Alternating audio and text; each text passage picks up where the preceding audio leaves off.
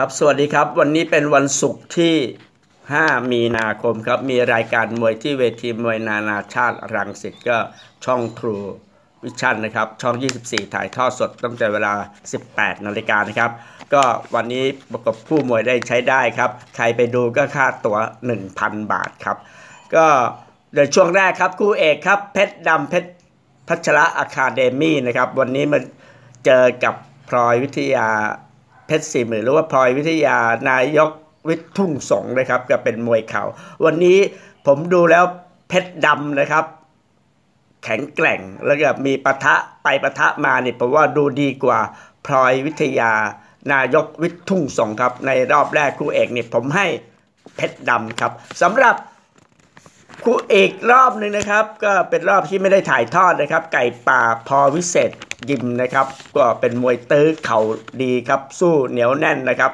เจอกับเพชรนิรันดาบรันสารคามนะครับ ผมว่ายืดเยื้อแล้วเนี่ยไก่ป่าดูดีกว่านะครับสำหรับคู่เอกในรอบถัดไปก็คือรอบไม่ได้ถ่ายทอดเนี่ยผมให้ไก่ไก่ป่านะครับ ให้เพชรดำและไก่ป่าลองติดตามลุ้นกันนะครับ สวัสดีครับ สวัสดีเพื่อนๆทุกท่านนะครับ ที่ติดตามแฟนเพจ SMM มวยไทยรายวันนะครับ คู่เอกศึกทรูโพยูมวยมันวันศุกร์นะฮะ เป็นการพบกันระหว่างเพชรดำเพชรยินดีอะคาเดมี่นะครับ พบกับพลอยวิทยา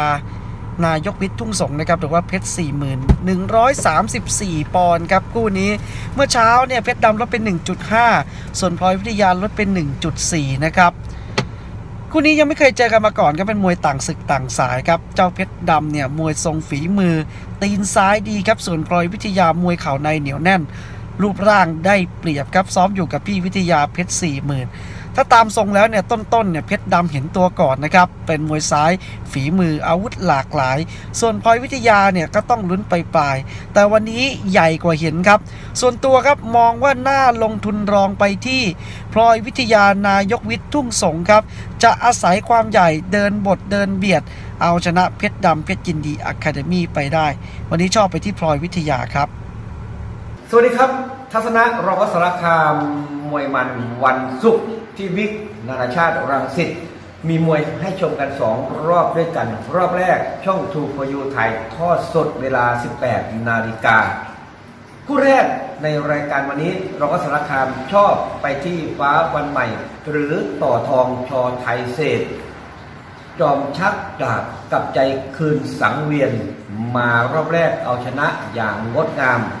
รอบนี้รอสารคามมั่นใจในการพิซ้อมและเหลี่ยมมวยดีกว่า น่าจะเอาชนะน้ำปุช่างนุ่นศรีสะเกดไปได้ ส่วนคู่เอกนำรายการในช่วงแรกรอสารคามชอบไปที่เพชรดำเพชรยินดีอะคาเดมี่มวยครบเครื่องต้มยำน่าจะผ่านเอาชนะพลอยวิทยานายกวิทย์ทุ่งสง ส่วนรอบสองถ่ายทอดเวลา 20 นาฬิกาทางเพจมวยเด็ด 789 แล้วก็สารคามชอบไปที่ไก่ป่าพอวิเศษยิม หัวใจเกินร้อย เชื่อว่าน่าจะผ่านเพชรนิรันด์ดาบรันสารคามไปได้สามตัวตรงฟันธงตรงเป้ารองอัสารคามอยากให้ได้ ขอให้ทุกคนโชคดีชมมวยให้สนุกเฮงเฮงเฮงขอรับ และก่อนจากกันฝากคุณผู้ชมทุกท่านนะครับ ให้กดไลค์กดแชร์กด Subscribe และกดกระดิ่งแจ้งเตือน เพื่อจะไม่พลาดรับชมเรื่องราวใหม่ๆ ของช่อง SMM Sport